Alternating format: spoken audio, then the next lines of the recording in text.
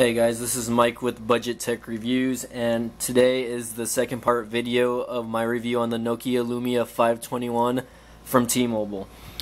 Uh, the first thing I want to do in this video, guys, is show you guys a speed test, actually. And let me get to that really quick. There you go. I'm running it off their 4G network, so this does have the speed test app, and let's take a look here.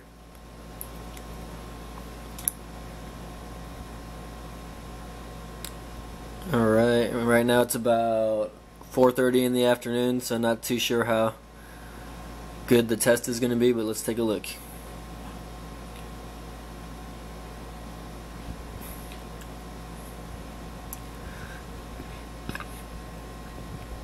There you go, as you can see, uh,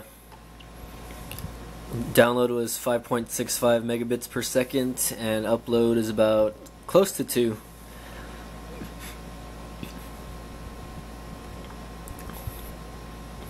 Usually download and upload speeds vary depending on location, but as you can see there, not too bad. Let's do it one more time just so I can get another score there.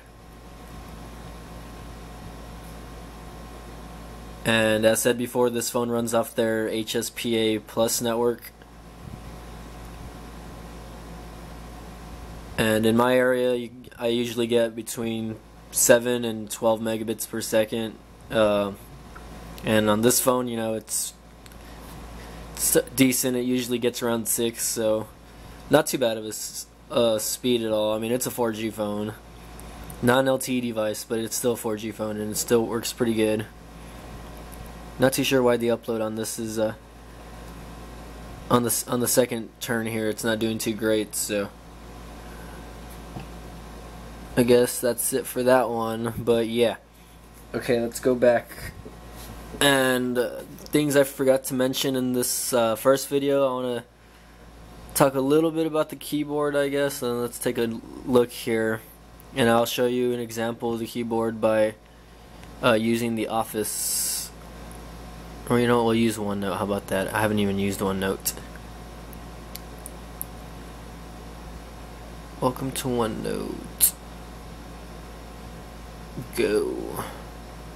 Alright, let's add a note. So as you can see here, the keyboard is a QWERTY keyboard, on on-screen keyboard. And it's got pretty much basic functions like numbers, symbols, all that. It's got a little smiley face, kind of emoticon that's going on there. As you can see there, you can switch and you can change different things, of course, about that. But one thing about this phone is you cannot really change the keyboard. Uh, like Android and iOS devices, uh, you're able to swap out keyboards. And, but one thing I uh, good about this keyboard is it's not really bad at all. I mean, once you get used to it, it typing is easy. Saying like, "Hey, what's up?" and autocorrect on it is actually really good. So, and they it does have a voice as well this is you see look and um it's kind of hard to take a video and type but but me getting a review on the and yeah, it takes some time but it's actually real fluid. There's little there's very there's little to no lag at all on the keyboard and the same thing goes for text messaging and and so forth so and I'll just and it's gonna save I guess it's just a quick note. Uh, like a little memo pad. Uh, but going on uh, as you can see here I have uh, apps like YouTube Facebook Twitter Netflix. All these apps work. If you if you're a Netflix enthusiast uh, and you want to get on Netflix of course uh, you can. But and one thing I'm gonna tell you about this phone is the headphone jack on this phone does for me it, it doesn't really work work really good to be honest. Uh, the, the headphone jack, I plugged in a few sets of headphones and uh, trying to listen to music or watch video.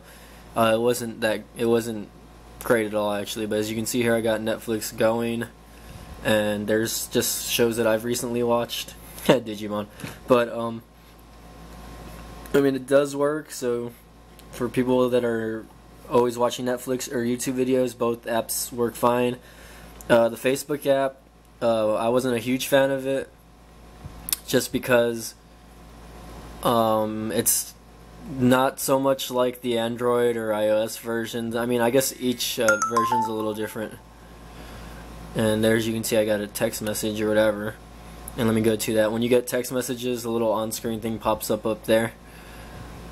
But and as you can see here, I'm texting Vanessa, but I'm gonna reply, and in the messaging app, the keyboard turns black, so that's pretty cool, I guess. And to send, you just press this button down here, the little message button. And back to to Facebook here, you can see the app is pretty fluid. You can see that my fingers going up and down with it, and I guess that's one thing that I do like about Windows Phone is that uh, it's very fluid in some of the apps, and I'm not. And the thing is, though, there's like so there's like different Facebook apps that I guess that different developers make um, Facebook uh, apps on Windows Phone so there is a, a bunch of different, just a bunch of different apps. Same thing for YouTube. And okay, hold on. Cool. All right. As you can see there, I got another message. Let's just swipe that aside. On here, you can see that there's like kind of a little notification bar. Not really. It just tells you the time, battery level, and if you're connected to Wi-Fi and 4G and the signal. And okay, I wanted to get into uh, sync with this phone. If you guys aren't familiar with Windows phones, uh, and if it's your first phone, uh, you can actually set set up a Hotmail account or whatever to to um, save your contacts and uh, things to SkyDrive, etc. So let's go to accounts really quick, email accounts and whatnot.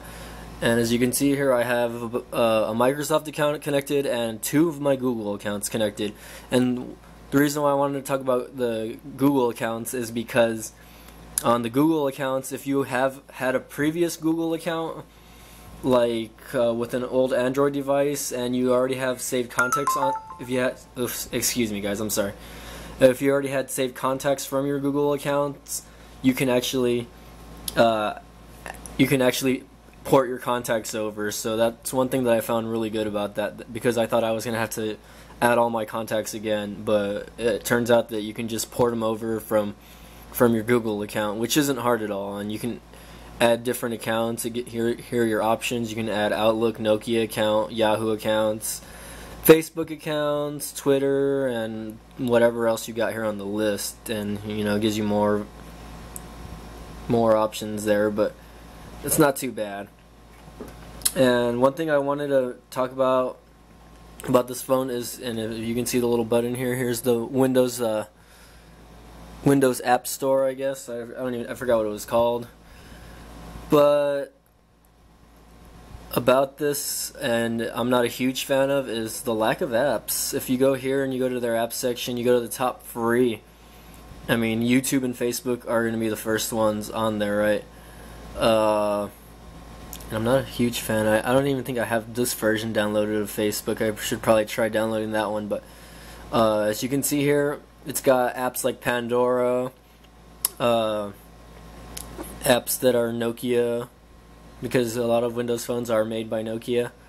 So you have a little different things there. SkyDrive to save uh, photos and things to your SkyDrive account. Twitter, Google, Netflix, but honestly, there's not a lot of popular apps that I like would usually use like on my Nexus device. Like if you have a if you have uh, if you're a huge fan of Instagram, for instance, you're not going to get Instagram on a Windows Phone at all. And there is a huge, huge lack of games by. By the way, let's take a look. Let's go back and see if I can go back. Hold on. There we go. Games like for games, for instance, you can set it up to actually link up with your uh, your Xbox Live account, which I thought was pretty cool because this phone isn't compatible with Xbox Smart Glass. And excuse the glare, guys. I don't know what the deal with my camera is here, but Let me see if I can lift that a little. But let's go to their games and we'll go to top three on iOS and Android. You're going to usually see Angry Birds or Temple Run or Candy Crush. Uh, first thing on the list, and as you can see here, uh, the first thing on the list here is Uno with Friends, and I had I never even downloaded that. So I did try Temple Run, and Temple Run do, one does work, but they don't even have Temple Run two on here. If you want Angry Birds, that's actually a paid for app. You actually have to pay for that app, but one thing I just didn't like about this is the lack of apps and applications and um, and uh, games. Pretty much, I mean, if you guys are wanting to game on these phones, it's not just not one of those things that you can do. There's not a huge selection of of games. I, and let's go let's go back here. I'm gonna and here's just how I have my tiles set up and everything like that.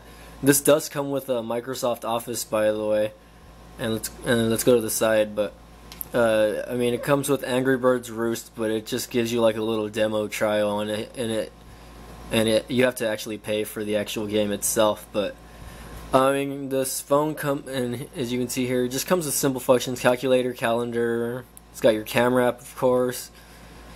Creative Studio, where you can probably change the pictures and stuff like that.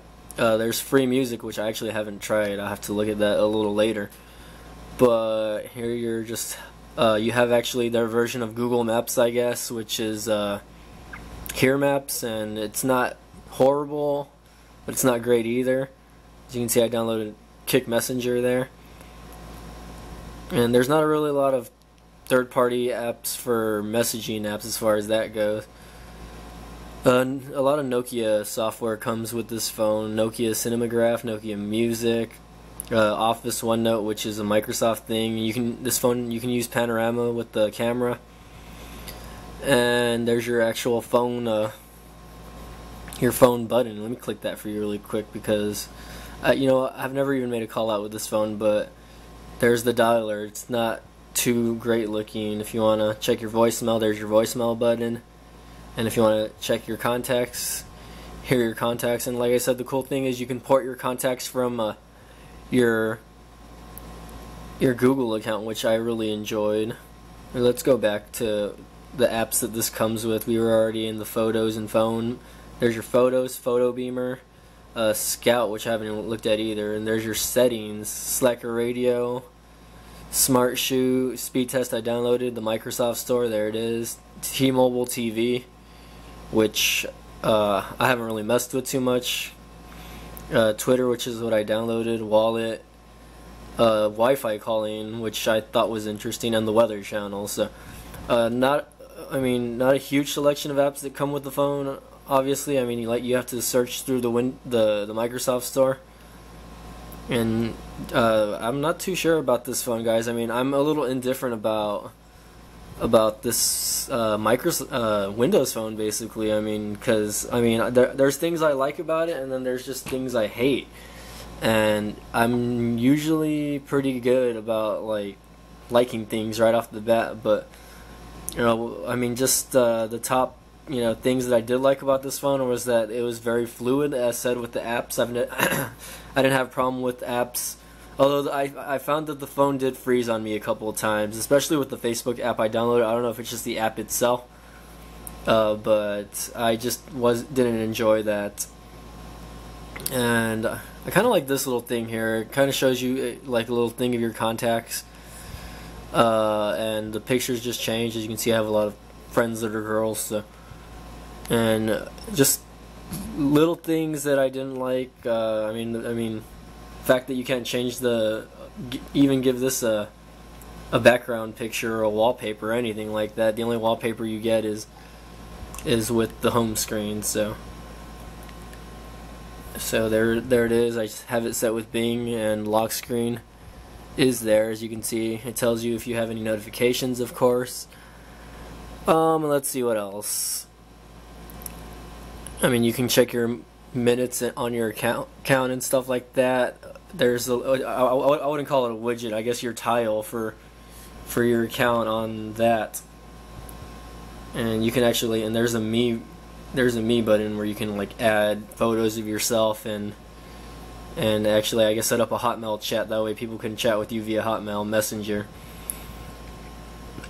But not a huge fan. I guess the only uh, browser wise, you don't have a lot of options. You pretty much just have Internet Explorer. Internet, Internet Explorer works okay. I couldn't even get onto the Virgin Mobile USA website, which is kind of interesting for me. Let's see if we can go to tmobile.com. See if that even works. And I already have this video running a while, guys, so I might actually make a separate video, but just to get things I know I left out, like I want to get footage of like the camera app, get some gaming footage, stuff like that. So here's T-Mobile.com. Do you want to allow T-Mobile to access your location? Sure, why not? And there's T-Mobile, and this is their mobile site, I guess. Uh, oh, there you go. But as you can see, pinch to zoom works really good. I'm sorry that pinch to zoom took so long for me to get. But it's very fluid, like I said. So I guess I'm going to end this here, guys. I'm going to try getting one more video, I guess, before I decide to sell this phone. It So uh, thanks for watching, guys, and always please subscribe.